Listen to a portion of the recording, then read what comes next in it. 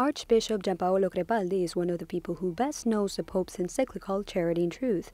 After all, he collaborated directly with Benedict XVI in drafting it. The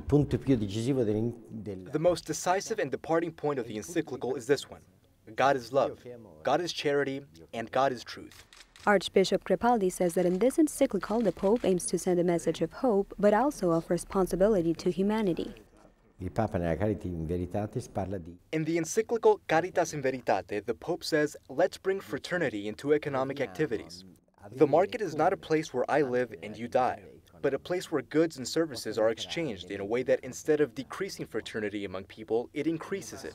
He points out that the Pope denounces the idea that the market is the engine of society because this idea goes against the Christian perspective.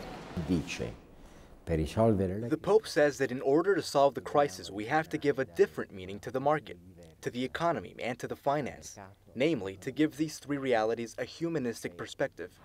And he explains that this encyclical cannot be perceived simply as a document aimed at solving the economic crisis. That's why he emphasizes Benedict XVI's message about the environment in which the Pope seeks to merge respect for life with respect for nature.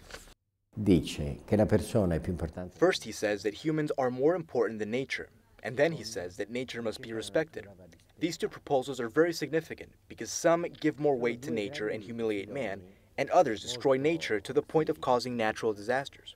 Crepaldi says that now is the time to carefully study the various themes of the encyclical, think about the message that unifies the ideas of the document, and put its teachings into practice.